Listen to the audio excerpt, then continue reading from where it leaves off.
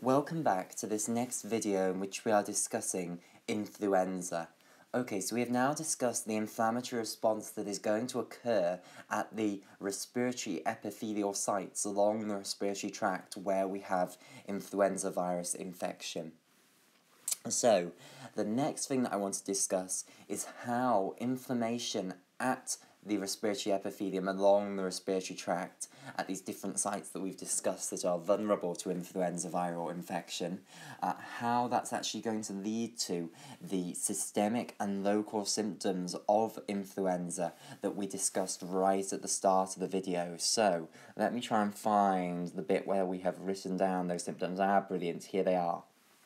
So, we divided the symptoms, remember, up into the local symptoms, which are occurring because of the inflammation in the local site in the respiratory tract, and then the systemic symptoms, which, as we'll discuss, will justify these very nicely in a moment.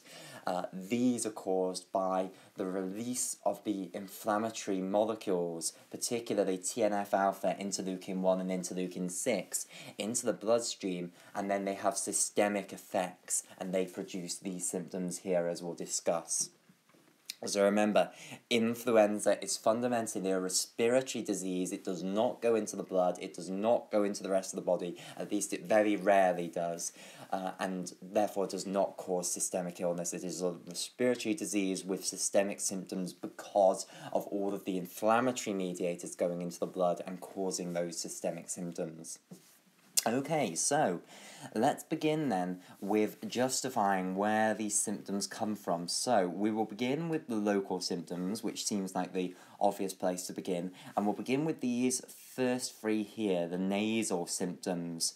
Um, okay, so we have discussed then that the respiratory epithelium that lines the nasal cavity is vulnerable to influenza viral infection, so influenza will come in here and it usually arrives here first. And then, following the influenza viral infection, you will now get inflammation occurring at that respiratory epithelium, so in the underlying connective tissue and actually on the epithelial layer itself. So you'll get an exudate forming and you'll get white blood cells coming into that epithelium. Therefore, you are going to get rhinitis as a result of influenza. So I'll just put this here. So these three local symptoms here result because the respiratory epithelium of the nasal cavity is inflamed. And of course, inflammation of the nasal cavity epithelium is called rhinitis. So rhinitis is going to result in these three nasal symptoms here. So let's just explore this a little bit more. Rhinorrhea, remember, is the fancy word for a runny nose. So why do you get a runny nose when you have an inflamed uh, nasal epithelium then? Well, in the inflammation process, you are going to get exudate forming on the respiratory epithelium surface. That's part of the component of the stuff that runs out of your nose when you have a runny nose. So I'll just write this down here. So part of the stuff that's running out of your nose is the inflammatory exudate. In addition, when you have inflammation of the respiratory epithelium, it results in increased mucus production by that respiratory epithelium. So remember, the respiratory epithelium is a mucosal epithelium. It produces mucus, it has mucus on the surface here. Now, the histamine molecule that is a component of the inflammatory response is one of those pro inflammatory mediators that is released, remember, coming right back down here. Histamine is one of the molecules released as part of the inflammatory response. This, as well as actually causing the inflammatory response by acting on epithelial cells of the uh, terminal arterioles, the capillaries, and the postcapillary venules. Another thing that it does is it will act on these epithelial cells themselves, receptors on their surface, and also receptors on the goblet cells to increase mucus production. So you get more mucus produced by inflamed epithelia. Now that makes complete sense because remember, mucus is one of the key antimicrobial mechanisms of the respiratory epithelium. So if we have an infection, it makes sense to produce more mucus, and histamine is the molecule that mediates that increased mucus production. So, let me add on here the rhinorrhea is also due to the increased mucus production. So, the stuff that is running out of your nose is a is a combination of inflammatory exudate, mucus, so mucus is going to uh, be produced in a larger quantity, and also one other thing Remember, influenza is a horrible, horrible illness if you are a respiratory epithelial cell. If you are one of those ciliated columnar epithelial cells, this is a terrible, terrible illness.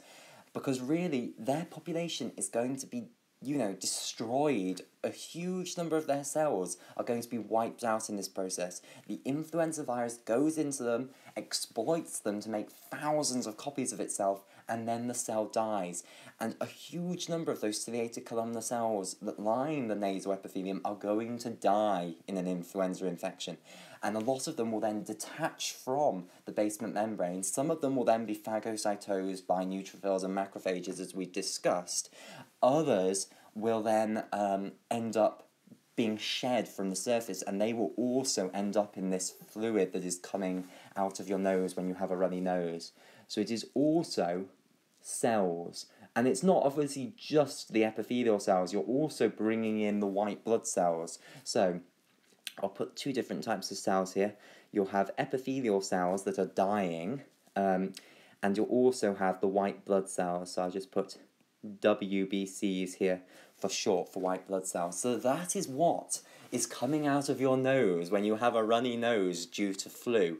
You're getting inflammatory exudate. Of course, that's a major component because it's not that viscous, the stuff that's coming out of your nose when you've got a runny nose. It's quite fluidy, not particularly viscous at all. Therefore, a lot of it is just the inflammatory exudate, but there will be mucus components in there as well, and also there'll be cells, both the dying epithelial cells that are being shed from the surface and also some white blood cells that have come onto the surface to try and attack the uh, influenza pathogen. So the neutrophils, the macrophages, and the natural killer cells that we've discussed.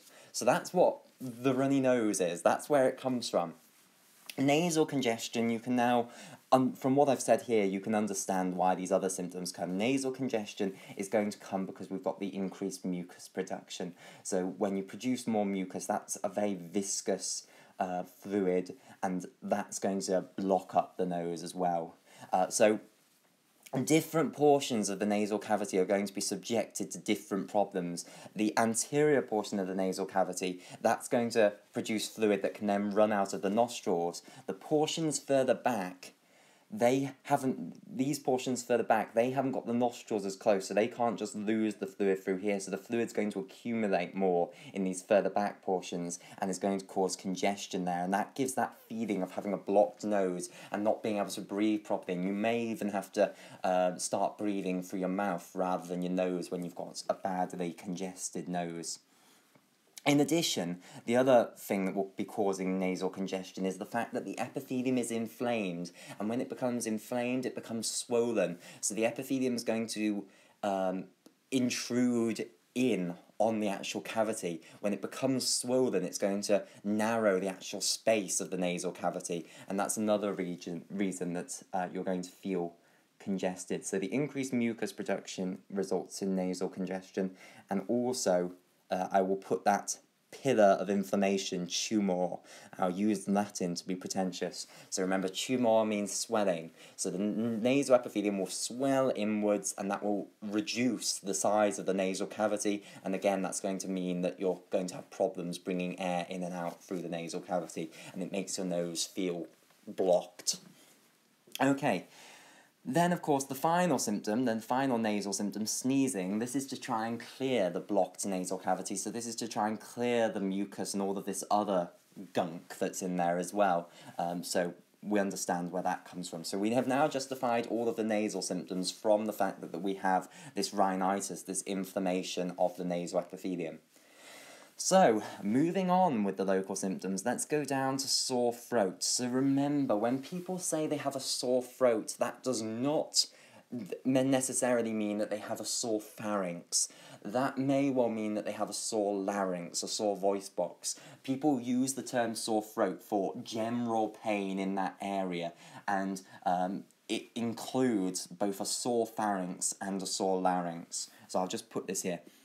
So we know that in influenza infection, we are going to get infection of the top portion of the nasopharynx and the bottom portion of the larynx. And I want to stress this in point again because you might be surprised by this. a lot of the pharynx does not get infected by influenza virus. I know we've discussed this before, but it, you may well find this surprising. Just like the oral cavity, the bottom portion of the, and I'm afraid I'm going to sneeze. Sorry about that. I was about to sneeze, but I didn't end up doing it. Okay, I have had flu recently. So, uh, the bottom portion of the... I'm better, though. Uh, most of the, the systemic symptoms have certainly gone away. I've got some residual um, local symptoms.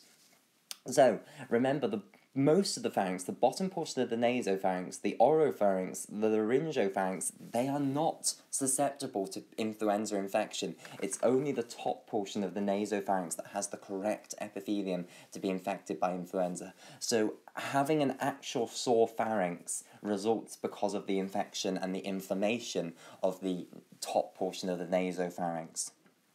However, regardless, we can therefore say that in influenza you get pharyngitis, inflammation of the pharynx. So, I'll break this into two components. So, the sore throat is inflammation of the pharynx, which is pharyngitis, and I hope it's going to fit in here. Pharyngitis, like so. And also, as I've said, it includes laryngitis. People don't distinguish between the pain of pharyngitis and the pain of laryngitis. They describe it as a sore throat, whether they're talking about a sore voice box or an actual sore throat, which is pharyngitis. So you're getting inflammation of the top portion of the pharynx, the top portion of the nasopharynx, and the bottom portion of the larynx. So you do get pharyngitis and laryngitis in influenza, and this causes the sore throat, as we now understand in these areas, you're going to get prostaglandin E2 production, and that will now start activating receptors on the surface of those local nociceptors in the underlying connective tissue underneath the epithelium, and that will cause action potentials to be fired up the primary nociceptive afferents, and that will go into the central nervous system and then will through mechanisms that we are yet to understand, cause somehow the conscious unpleasant sensation that is pain. Okay, so that's where the sore throat comes from. Now let's talk about hoarse voice. Of course, the hoarse voice also results because of the laryngitis. So this is loss of function of the larynx. So remember, another one of those pillars of inflammation, the fifth pillar of inflammation, the one that was added much later than the four original pillars of inflammation, is loss of function, functio laesa in Latin. Okay, so you lose function of the larynx and therefore your voice changes, so you get a hoarse voice. So that is again resulting because of the inflammation of the bottom portion of the larynx, the laryngitis. Now, the coughing, um, the final local symptom that I put here, although I might just add a seventh one in that sometimes you can get. So remember, the influenza viral infection usually spreads further down than just the larynx. It goes down the trachea and into the early bronchi. So you're going to get inflammation in the epithelium that lines the trachea and the early bronchi as well. So in influenza, you do indeed get tracheitis and uh, a little bit of bronchitis often. So, in influenza, you get tracheitis, inflammation of the trachea, and also a little bit of bronchitis. Now, why does this produce coughing? Well, it's the same reason as um, what we saw in the nasal cavity. So when you've got inflammation of the respiratory epithelium lining the larynx, the trachea, and the bronchi, what's going to happen? You're going to increase the inflammatory exudate production, so you're going to get exudate production on the surface of the uh, respiratory epithelium lining these respiratory tracts. You're also going to get increased mucus production because of the histamine. Um, you're going to get cells being put onto the surface, so dead epithelial cells and also white blood cells are going to come onto the surface, and this is going to potentially bro- block these airways, block the trachea, block the larynx, and block the bronchi. So it needs to be cleared, and one of the fantastic ways of trying to clear that quickly is by coughing, trying to expel it upwards. Of course, the cilia will do their best to clear it, uh, but coughing is the equivalent of sneezing. It's a fantastic way of bringing stuff up much quicker than the cilia will do it. So, um, coughing is caused by the inflammation of all of these parts of the lower respiratory tract, so the uh, larynx, the trachea, and the bronchi. So that's where that sixth symptom uh, sixth local symptom of influenza comes from. Now, I would just like to add one more onto here that you will get to a variable degree. I got this when I had the full blown flu a few weeks ago. I had this, I did notice this, which is that you get a little bit short of breath. Not badly short of breath, not pneumonia short of breath, uh, but still you're not breathing at the normal rate that you would be. So, you get a little short of breath, and for short, shortness of breath is abbreviated down to SOB. You can also cause the, call this dyspnea, which just means problems with breathing.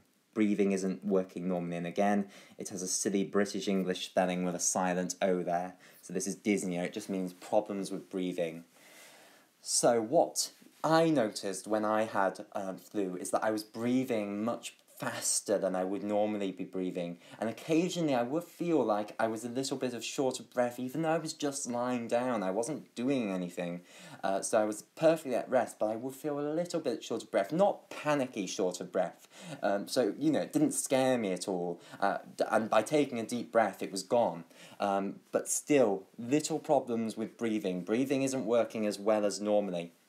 And that's going to result because of the inflammation of the trachea and also particularly the inflammation of the bronchi. Now, when you get inflammation in these regions, in their epithelial linings, you'll get histamine production, as we've discussed over and over again. Now, histamine can cause the smooth muscle cells that line the walls of these airways to contract. So remember, these airways, the only bit of their wall structure that we've discussed is the respiratory epithelium, which is the innermost portion of the wall. However, around the outside, so if I just draw a cross section of one of them, so if this is a cross section of a airway, either a bronchus or the trachea maybe, so, we have discussed the innermost lining, which is the respiratory epithelium. Around the respiratory epithelium, they have a huge amount of connective tissue where the sentinel cells are and where inflammation will be occurring.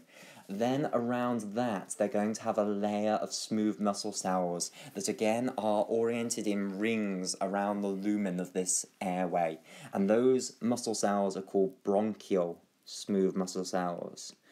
So, bronchial SMCs for short. So you have a layer of bronchial smooth muscle cells in the wall structure of um, of the trachea and the bronchi, and we call even the ones in the trachea we call them bronchial smooth muscle cells. Um, we don't call them tracheal smooth muscle cells. I suppose you could probably call them tracheal smooth muscle cells, but we use this term for any smooth muscle cell that's in the wall of an airway. Now, these bronchial smooth muscle cells, just to draw one on the picture, and it's a bit out of scale, but you get the point. Here's a bronchial smooth muscle cell in the wall. It has on its on its surface receptors for histamine, and if histamine is produced in this connective tissue underneath the epithelium, it can diffuse back to the bronchial smooth muscle cells and activate those receptors and cause them to constrict, to contract. Okay, um, so very different from what happens in the blood vessel um, smooth muscle cells. On the bronchial smooth muscle cells, you're going to get contraction of those smooth muscle cells, and therefore you get constriction of the airways, constriction of the bronchi, and constriction of the trachea. Now, this is called bronchoconstriction. So, what's going to happen is because of histamine, you're going to get broncho constriction where the airways narrow. Now, what's the purpose of this? Why on earth would you want to get bronchoconstriction. And I should stress, this isn't major bronchoconstriction. In for instance, an, in for instance, an asthmatic attack, you get horrendous bronchoconstriction. In flu, you're going to get a bit of bronchoconstriction because of the histamine produced, but you're not going to get the horrendous bronchoconstriction that causes an asthmatic attack unless you have asthma. If you do have asthma, then you have hyperreactive airways that bronchoconstrict far too much in response to histamine, and I'm afraid when people who have asthma get influenza, it is really dangerous for them because when they get inflamed airways and there's the production of histamine in the walls of the airways, their airways totally overreact to that histamine and constrict down to tiny little levels so that they actually can't breathe properly at all, and that's called an asthmatic attack. So, influenza is one of the triggers for asthmatic attacks, which is why people with asthma have influenza vaccines every year, um, even if they're young and he- otherwise healthy, uh, because influenza is a huge risk factor for triggering asthmatic attacks. Anyway, coming back to people without asthma, uh, the more the normal case, um, what will happen is a little bit of bronchoconstriction, so you will get narrowing of the trachea and the airways. Now, why on earth do you want this? Well, it's a protective mechanism, we think. The idea is that the airways are trying to, you know, narrow themselves to try and prevent more pathogens coming in. If you've got narrower tubes, there is hopefully less likelihood that pathogens are going to be able to go down those tubes and get to lower depths of the lungs, of the bronchial tree, and potentially into the alveoli. So if you narrow the tubes, the idea is that less pathogens will be able to get down those tubes to the lower depths of the lung, where they will cause absolute havoc if they get for instance, to the alveoli. So it's thought to be a protective mechanism, bronchoconstricting the trachea and airways to try and make sure that if more pathogens are being breathed in, they'll end up hitting the mucus on the surface of the airway walls rather than actually making their way down the lumen of the airways uh, because the lumen are now narrowed so it's more difficult to remain in the lumen. It's more likely that you'll hit the wall and get stuck in mucus. Okay, so this is a protective mechanism. However, of course, the problem with bronchoconstricting your airways is that means that you can't bring in as much air. It's more difficult to bring in air, so you're going to end up with less airflow and therefore uh, a lower tidal volume, and therefore you're going to end up a little bit short of breath and having to breathe more frequently. And so uh, you'll get a little bit short of breath, you'll get a little bit dyspneic, a little bit tachypneic, which means that you're breathing at a higher rate. Okay, so that is a se seventh local symptom that I can add on to this list of the local symptoms of influenza that you might get to varying degrees with influenza. The further it gets down the airways, the more the shortness of breath will become. And if it gets down into the alveolar spaces, if you get pneumonia, you will get massive shortness of breath, of course. Okay, so we have now done the local symptoms. Let's move on to the systemic symptoms of influenza. Let's justify where these come from. And this time I'm not going to add any more in. These are all the systemic symptoms that we're going to discuss. So, to make this absolutely crystal clear then, the systemic symptoms are caused by the pro-inflammatory mediators that have been produced at the local site at the respiratory epithelium going into the bloodstream and causing effects on the entire body. And the three major ones that go into the bloodstream and cause the systemic symptoms of influenza are tumor necrosis factor alpha, TNF alpha, interleukin 1, so the two most important ones that you must know the names of for the inflammatory response always. They're always there. This isn't just important in the inflammatory response to influenza. They are important everywhere in pathology. Whenever you get an inflammatory response, you will always hear the names TNF alpha and interleukin 1. They are so important. And then another really important one as far as systemic symptoms of a illness is concerned is interleukin 6, the one that we didn't see the function of earlier on. So, Tumor necrosis factor alpha, interleukin 1, and interleukin 6, when they're produced at the local sites, some of them will go into the bloodstream and they're now going to affect other portions of the body. They will circulate in the bloodstream, go all over the body, and they cause changes that will lead to the systemic symptoms. And so, Let's start off with fever, chills and shivering and rigours because they all come together. And in fact, we'll also be discussing fatigue and appetite loss at the same time. These are all effects that are achieved by these molecules going up to the brain and acting on the brain to cause changes uh, in your behaviour. Now, we do not have a fantastic understanding of how these molecules act on the brain uh, to produce these symptoms. However, we do have hypotheses, we do have a little basic theory of what might happen. Notice that these are all very, very basic functions of the central nervous system. This is body temperature control. This is sleep control and wake control. And this is appetite control, eating control. Those are all things that not only humans can do, but much, much simpler animals with much simpler central nervous systems, they can all do these things as well. They can regulate body temperature with their brain, they can regulate sleep and wake cycle with their brain, and they can regulate eating with their brain. They are not complicated functions. This is not doing calculus. These are very basic functions of the brain. So, we think that the portions of brain that control these things are an old portion of the brain, portions of the brain that you can find in other animals, not just humans. I.e., we do not think that it is the massive, great cerebral hemispheres that control these things. They are much newer. They are something that humans have uh, and that other animals don't have. So we think these are controlled by an ancient portion of the brain that we find in loads of different animals. And that ancient portion of the brain that we think controls all of these functions is the hypothalamus. So our theory is that these molecules, TNF alpha, interleukin 1 and interleukin 6, they go up to the brain and the bit of the brain they act on to produce these changes is the hypothalamus. So, time for a bit of neuroanatomy. If you thought that it was bad having to do the primary nociceptive afferents going into the spinal cord, now we're going to do a bit of neuroanatomy. So I'm going to draw a basic picture of the brain. I just want to make sure everyone knows where the hypothalamus is. So let me get some uh, new colour. So I think we'll do this in yellow. So the motivation is we are trying to find this portion of the brain called the hypothalamus. So I'm not going to assume that you know your neuroanatomy.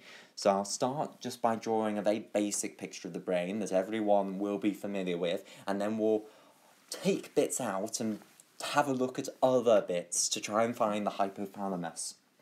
So here we go. So I'm drawing a picture of the brain from the side, which is an image that even if you've never studied neuroanatomy, you will be familiar with. So this here, of course, is representing the cerebral hemisphere. So we're imagining that we've taken someone's brain out and we are looking at the brain from the left-hand side. So we are seeing the left cerebral hemisphere here. Now, that's not the only thing that you'll see. You'll also see bits below the left cerebral hemisphere peeking out. So you'll see the bottom portion of the brain stem, which is the continuation of the spinal cord into the brain, like so. So this and this are two portions of the brainstem, whereas below we have the spinal cord. And let me just label a few, actually I'll label up afterwards. And then one final thing that you'll see is the cerebellum behind here. So this bit is actually inside the skull, whereas this bit comes out the bottom of the skull and will be within the central canal of the vertebral column. Okay, uh, so let's just label up these different portions of the brain. So this bit that I'm now colouring in in green at the back, that is the cerebellum, and of course we are specifically seeing the left cerebellar hemisphere. Uh, so that's the cerebellum. Then we've got the cerebrum, and of course again we're specifically seeing the uh, left cerebral hemisphere. So up in mint green here, this is the cerebrum bits that are not important to us at all. The cerebellum's really important for making very brilliant movements. When you catch a ball and you're making a movement that needs to be calibrated fantastically with visual information, otherwise you will not catch the ball, you'll miss. You'll leap for it, but you won't get the ball. Um, when you need a movement to be perfectly calibrated like that, for instance, to visual information, that's where the cerebellum is really important. So it controls things like that. The cerebral hemispheres, of course, control loads of things. They are believed to be the site of consciousness and of what we truly are. Um, and then uh, we have some other bits here. We have the spinal cord, um, which obviously conducts information down to the rest of the body and also conducts information up from the rest of the body. So this is the spinal cord here. And I'll just put on, here is the hole that the brainstem goes through to become the spinal cord at the bottom of the skull. And if you remember anatomy, you'll know what the name of that hole in the bottom of the skull is. It is foramen magnum. So foramen is the Latin word for hole, Magnum is the Latin word for big. This is the big hole in the skull. There are loads of little holes in the skull. This is a massive hole in the skull that you cannot miss, so it is the foramen magnum. And then the two other components of the brain that we can see on this picture are components of the brain stem. So the first bit of the brainstem there in red, just after the spinal cord, this is called the medulla. So that's the medulla. And then the other bit that we can see, which we'll do in blue, sitting above the medulla, is the pons. And these are both components of what we call the brainstem, which is the continuation of the spinal cord uh, once it's gone through foramen magnum as is now in the skull. So both of these are components of the brainstem. So that's the first picture that I've drawn, and I've drawn that picture because everyone will be familiar with that picture. Obviously, this picture does not show us the hypothalamus, unfortunately. What a shame. We're going to have to draw another picture. So, we're now going to draw another more complicated picture. We are going to imagine removing the cerebral hemispheres. We're going to take out these incredibly advanced portions of the brain that humans have, but those of other animals don't have. And we're going to look at some more basic structures that are deep in the center of the cerebral hemispheres. So you can't see them on this picture because you'd have to chisel through here, and they're right at the center of the two cerebral hemispheres. We need to see these structures, and they're above the brainstem, which is in the midline. So you go up from the spinal cord, you go into the medulla, the pons. There's another portion of the brainstem called the midbrain we can't see because it's deep in the center. And then there's some other structures that are sat on top of the midbrain in the midline that we need to see. And one of those is going to be the hypothalamus. So I'm not going to draw the cerebral hemispheres anymore. We're going to imagine we have dissected those away. Uh, and I'm also not going to bother putting the cerebellum on because that's not relevant to us at all either. Okay, uh, so where should I put this next picture? We'll go here. So, Again, back to the nice little yellow colour. So I'll start by putting the spinal cord on, here again. And then let's work our way upwards, so we'll have the medulla again, the pons, and now this new portion of the brainstem, and that's the final portion of the brainstem. So that completes up the brainstem now. These three parts, the medulla, the pons, and then that top bit, which is the um, midbrain. So let's just colour these in again. So the medulla is there in red again. The spinal cord is here in this strange colour, um, sort of purpley colour. Um, we need blue back again to colour in the pons. And then we've got a new component of the midbrain, uh, sorry, a new component of the brain stem, which I'll do in pink, called the midbrain. Okay, so those are the three parts. Oh, whoops, I've missed out a letter there. Let me just take it back. Mid brain. Okay, those are the three components then of the brain stem. Now I want to look at the structures above the midbrain, um, which are no longer part of the brain stem, but they're still older portions of the brain than the cerebral hemispheres. So let's have a look. So we are going to put on the thalamus and also the hypothalamus. Now, let's start with the thalamus. Now, strictly speaking, there is not just one thalamus, there is in fact two thalami. Uh, now, there's one on either side, so the midbrain is in the middle, um, but perched on top of the midbrain, there are two thalami. One is perched on the left hand side, that's the left thalamus. The other is perched on the right hand side, that's the right thalamus. So if you looked from above, you would then see both of them sitting on top of the thalamus one to the left side of the midline and one to the right side of the midline. Obviously, because we are looking from the left-hand side, we are only going to see the left thalamus from the side. So that's what I'm about to draw on, and we'll have it in green here. Now, the thalami are both egg-shaped, so they are this structure and then nuclei within the brain. Now, what does a nucleus mean in the brain? It means a collection of cell bodies of brain cells, a place in the brain where there are loads and loads of cell bodies of neurons, of brain cells, is known as a nucleus. So the thalamus is this egg-shaped density where in within the brain where you have loads and loads of cell bodies of neurons whereas the white matter of the brain doesn't have much cell bodies in it. It consists mainly of axons of nerve cells. Okay, so here, this is the left thalamus that we are seeing, and if we were looking from the right-hand side, it would be the right thalamus, and if we looked from above, we would see both of them perched on top of the midbrain. Now, one final thing that I want to put onto the picture, which is the hypothalamus, and I'll also put on the pituitary gland, because you can't really put the hypothalamus on without also putting the pituitary gland on, and also the optic chiasm, because they're both, you know, they're part of the anatomy.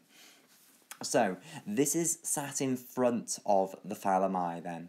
So I'll do this in what colour? We'll have some dramatic colour. We'll go to dramatic purple. Okay, so the hypothalamus is this extension of the thalamus forward, and it's also a nucleus. It's a density where there are loads of cell bodies, and this is what it looks like from the left-hand side. You have the optic chiasm at the front there, and then you have the pituitary gland dangling down like that, and then the mammillary body there. So this is what the hypothalamus looks like. This is the star that we wanted to find. And again, this is in the center of the cerebral hemisphere, so you don't really see it on this picture. I mean, strictly speaking, if I've been strictly correct, you do sort of see the pituitary gland dangling down around here, uh, but you wouldn't see the hypothalamus. It's deep within here, as indeed the thalami are, so they're hidden by the cerebral hemispheres that are all around them. But this is what the hypothalamus looks like from the side if you were to actually um, dissect away the cerebral hemisphere. So let me just point out some of these separate portions. So this bit at the front here, dangling down from the hypothalamus, this is the optic chiasm. So this is where um, axons from the two optic nerves cross over to join the contralateral optic tract. So that's where visual information is moved onto the right side so that information about a certain visual field is on one side of the brain, on one optic tract, and the information about the other side of the visual field is on the other side of the brain because remember both eyes they get information from uh, both sides of the visual field so you want to move the information across so that each of the sides of the brain processes only a single uh, visual field so that's the optic chiasm where loads of axons cross uh, from one optic nerve to the contralateral optic tract. Uh, and that's uh, right at the front of the hypothalamus there. And then, this structure dangling down here, this is of course the pituitary gland, which is controlled by the hypothalamus and releases a whole bunch of really important hormones. And then these structures, of which there are really two, we're only seeing the left hand side one, there would also be a right hand side one. These are the mammillary bodies, and these are just part of the hypothalamus. And they're these they're called mammillary bodies because they look like breasts. They are not involved in controlling um, breast tissue function. Indeed, the pituitary gland is involved in controlling breast tissue function. These are called mammillary bodies because there are two of them dangling down and they look like breasts. That's the reason they're called that, not because they're involved in controlling breast function. They're actually involved in memory, amazingly. Okay, so here is a basic picture of the hypothalamus from the left-hand side. Of course, the anatomy is slightly more complicated than this picture would suggest.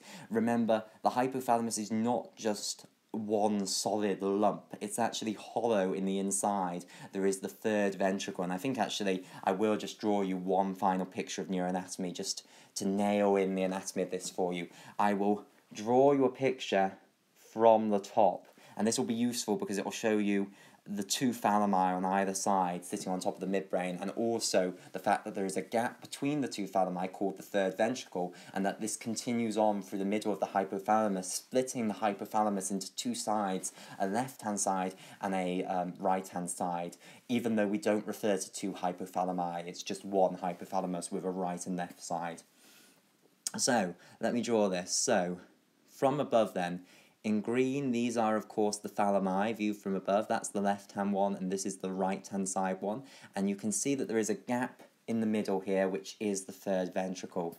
Then, coming forward from the front of the thalami, you then have the hypothalamus, which is like this, and it has a gap down the middle here, which I was telling you about, which is the continuation of the third ventricle. So this space here is the third ventricle of the brain and it is full of cerebrospinal fluid.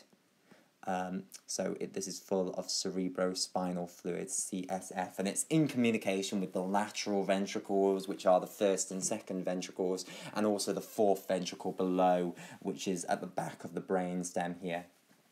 But we won't go into that detail of the neuroanatomy. So here is the hypothalamus. At the front here, you'd have the optic chiasm dangling down the floor of the third ventricle, so if you were a little man standing in the third ventricle, you'd be standing on something here. The floor is the bottom of the hypothalamus here, from which the mammillary bodies dangle down. So just drawing this on, uh, we'll do it in aquamarine colour. You'd have the mammillary bodies dangling down here, and then you'd have the pituitary stalk from which the pituitary gland comes off dangling down there, and you'd have the optic chiasm dangling down here with the two optic nerves coming in like so, and the optic tracts coming out the back like so. Okay, uh, so I think that's all we need to do with regards to the anatomy of the hypothalamus. I hope you now understand where this structure is and its basic sort of shape. It has these walls that form the lateral walls of the third ventricle and also the anterior wall of the third ventricle, and it also forms the floor of the third ventricle. Of course, the floor of the third ventricle here will be the midbrain, which is underneath uh, the two thalami here. Okay, so enough anatomy. This is an ancient, ancient portion of the brain. You can find this in loads of much simpler animals with much simpler brains to us. And this is believed to control things like body temperature, sleep and wakefulness, and also appetite. So, this is a complicated bit which I'm going to skirt over. So, the hypothalamus is split up into loads of little areas. We split the hypothalamus up into loads of little sections which we call the hypothalamic nuclei. There are loads of them. You can, if you like, go away and learn where each of them is. It's not necessary, it's not important. All we need to know for the basis of what we're about to discuss is that in the hypothalamus there is an area for controlling body temperature. There is an area for controlling sleep and wake. There is an area that is involved in controlling appetite. So I'm about to draw these on the picture, but I'm not going to put them in the actual areas where these nuclei are. And generally, you'll have a pair of nuclei because the hypothalamus is symmetric on both sides. So if you have a nucleus here that controls, let's say, um, body temperature, you'll have another nucleus on the other side which also controls body temperature. So the nuclei come in pairs. But I'm just going to draw some little sections on here. So we'll have one there, one here, and one here those are not the positions of them necessarily. I'm just keeping this simple. We're not going into the detail of where the actual specific hypothalamic nuclei are that control these things or are believed to control these things. So, we'll, let, we'll call these number one, number two, and number three.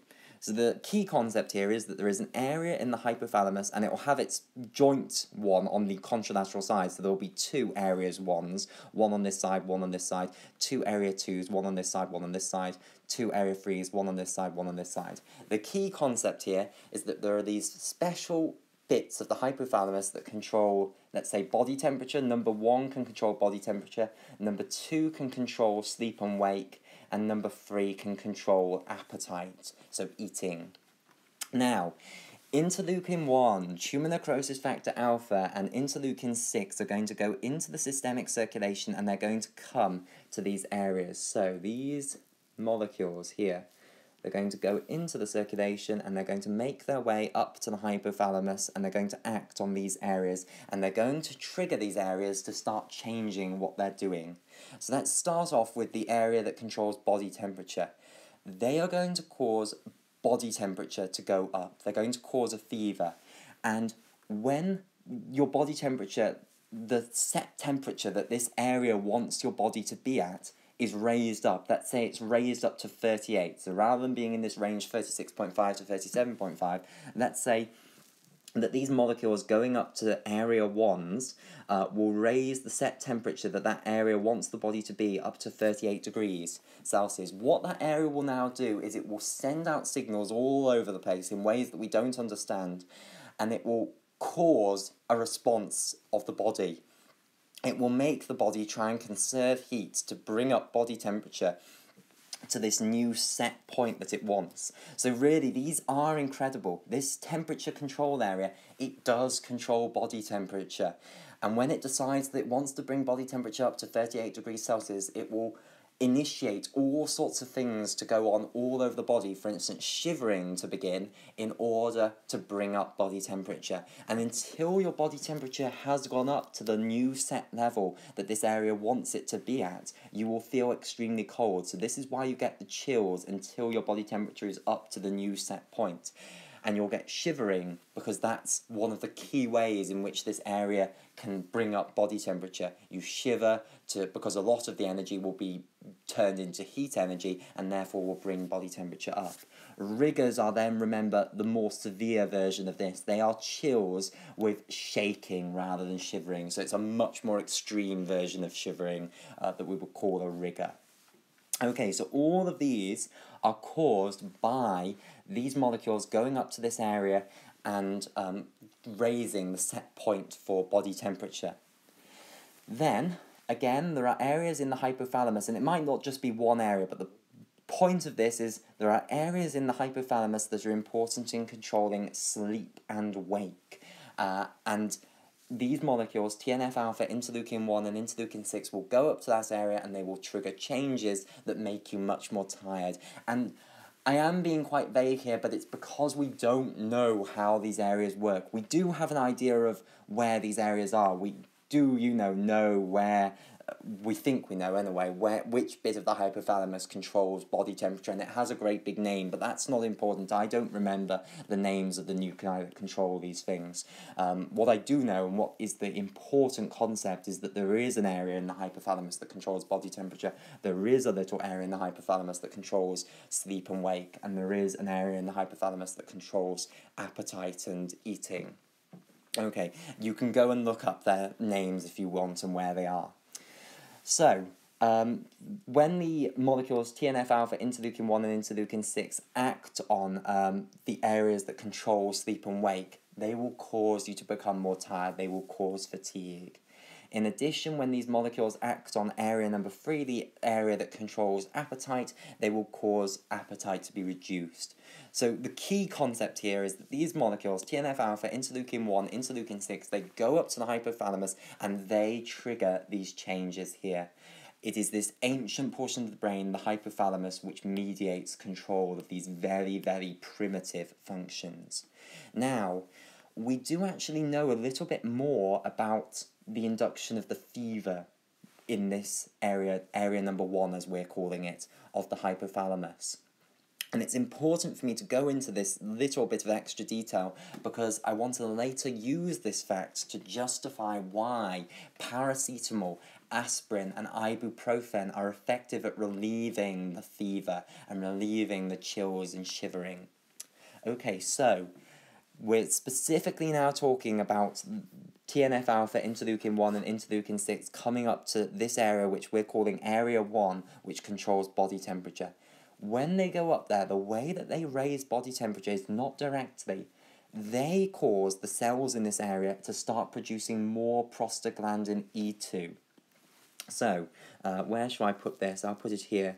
So, the key molecules then the three that we've discussed, TNF alpha, interleukin 1, interleukin 6, they go up to the body temperature control area in the hypothalamus and they cause the cells there to start producing the molecule that we've seen already, prostaglandin E2. So prostaglandin E2 goes up in this little area of the hypothalamus and then it's the prostaglandin E2 going up that then does something to the cells, what we don't understand, but does something to the neurons there that then changes the set point for body temperature.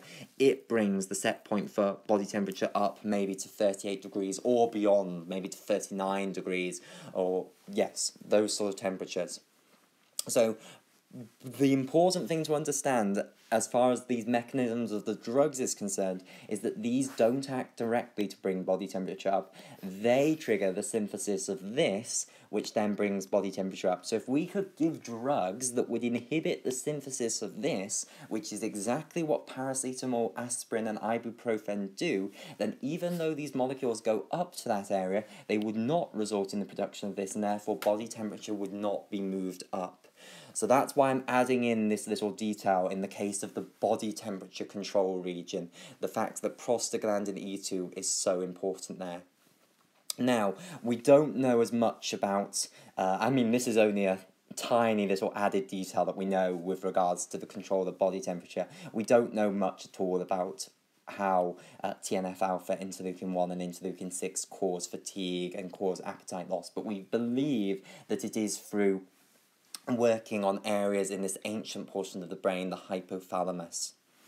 Okay, so there we go. There is um, the justification for those um, five systemic symptoms of influenza done. Now let's come on to the final two that we have, headache and muscle aches. Can we leave off headache for a moment? We'll come back to headache because that's less well understood. We'll come on to muscle aches first. So, this is again caused by the tumor necrosis factor alpha, the interleukin 1 and the interleukin 6 in the blood. As well as going to the hypothalamus, which is obviously extremely important, they also go into the skeletal muscle cells. So they will go to the muscles of your legs and the muscles of your arms. They go into those tissues and what do they trigger in those tissues? They trigger the same thing as we just discussed for the body temperature control region in the hypothalamus. They trigger the production of prostaglandin E2. Prostaglandin E2 is so, so important. So let me just draw a little picture of this down here. So let's say that this here is representing a muscle, and I should have done it in red rather than this bizarre yellow colour, but that's the muscle, here are the tendons coming off. So this is representing a piece of muscle. What's going to happen is our really important systemic inflammatory mediators here, TNF alpha, interleukin 1, and interleukin 6, they're going to come into this skeletal muscle tissue, and there they are going to trigger the production of prostaglandin E2. So prostaglandin E2 is going to be produced here. Now, what does prostaglandin E2 do? We've talked about what it does in the respiratory tract epithelium. It's going to trigger the same thing here. In muscle tissue, you have nociceptive neurons. So let me put this in here. So in red here, this can be a nociceptor here. Here is the tree-like structure that's looking for painful signals, painful stimuli, noxious stimuli. And here's the afferent neuron coming out here. What's going to happen is now prostaglandin E2 is going to work on the receptors on this nociceptor and therefore activate the firing of action potentials along this neuron and that's going to send signals up to the brain to say this muscle should be painful and it will cause the conscious sensation of pain in that muscle and that is why you get the muscle aches. And I don't know if I told you this in the first video, I can't remember, I made it so long ago now, uh, but the fancy word for muscle aches is myalgia so I'll add that in there. So, um, this is believed to be the mechanism. These mediators go to the muscle tissue, they cause the development or the production of prostaglandin E2, which then activates nociceptors, which causes the firing of nociceptive afferents. And that's why you feel pain in your muscles. And this again is why paracetamol, aspirin, and ibuprofen are effective at relieving the muscle aches, because they block the production of prostaglandin E2, and therefore um, this mechanism doesn't work. These go into the tissue, but they don't produce as much prostaglandin E2, and therefore you don't get the pain. Now, the more complicated one, or the more debatable one, headache, it's believed to be probably the same mechanism. It's probably the case that these molecules are going to go up somewhere, trigger the production of prostaglandin E2, which will then activate pain neurons. This is a running theme, so potentially this is what's going to happen. Now, which pain neurons need to be activated to give you a headache? Well, hopefully you know uh, a basic neurology fact that is that the brain does not have pain neurons. And a brilliant way of remembering that the brain does not have pain neurons is to remember the fact that when people have strokes, they do not get horrendous pain. In a stroke, blood supply to a certain portion of the brain is inadequate, and that portion of the brain starts to die. A great big chunk of the brain starts to die, and that causes all sorts of horrendous neurological problems, and you know, big parts of the body suddenly become paralyzed or really weak. However, it does not trigger pain. You do not get horrendous pain with a stroke. Contrast that to a heart attack. In a heart attack, the blood supply to a certain portion of the heart is inadequate, and therefore a great big chunk of the heart starts to die. And you get absolute agony. You get this feeling that someone is strangling your heart or crushing your chest. So, the classic ischemic uh, myocardial pain. And that's because the heart is innervated by pain neurons that do not like the fact that a great big part of the heart is dying. And of course, when the heart cells die, the exact same thing that we've just been through will happen. DAMPs will be released, the sentinel cells will go mad, they'll start releasing loads of pro inflammatory mediators, and one of those will be prostaglandin E2, which will start causing the nociceptive afferents to start firing action potentials. It's the same mechanism. So, knowing this stuff, you know, it um, carries over to other topics. So, anyway, the point of that discussion was that the brain does not have pain neurons, it's not innervated by pain neurons. Instead, the connective tissue layers surrounding the brain are innervated by pain neurons, the meninges that surround the brain. So, going back up to my picture of the brain here. So, all of this tissue will not have pain neurons innervating it. However, around the entire brain, and I don't know how to draw this. What colour should I do it in? I'll do it in some different colour, the vivid purple. So all around the brain, shown here in purple, there are connective tissue layers that are protecting the brain. And these are called the meninges. So surrounding the brain are the meninges, and the meninges, these connective tissue layers, and there's also a layer of cerebrospinal fluid in between the different connective layers. So remember, there are three different layers in the meninges, and between the different meninges, there is a layer of cerebrospinal fluid, and the whole function of this is to try and cushion the brain so that if you suddenly uh, decelerate, suddenly, if you're on a train maybe and the driver puts the brake on and it suddenly decelerates, um, your brain doesn't slam into the front of your skull. It's cushioned so that uh, it doesn't get damaged that easily. Now, the meninges are innervated by pain neurons, so often a headache is triggered by these um, nociceptive afferents within that are innervating the meninges firing. So I'll just try and draw a little picture of this. So I'll put now a little nociceptor in here. So here's the nociceptor again and then there'll be an afferent here, and it will come in through some cranial nerve um, into the brainstem and deliver its information up to the brain. Okay, so here the point is that that's a nociceptor there. So the meninges are innervated and therefore you can get pain coming from the meninges. So potentially the reason then that you get a headache when you get influenza is that interleukin 1, TNF alpha, and interleukin 6 go up maybe to the meninges. We don't know this. This is more sort of speculative. Maybe they go up to the meninges, activate the production of prostaglandin E2 here. So again, prostaglandin E2 is speculated to be important. And then prostaglandin E2 can activate these nociceptors and cause the feeling of pain in the head and that's what we get as a headache. Potentially, that is the mechanism.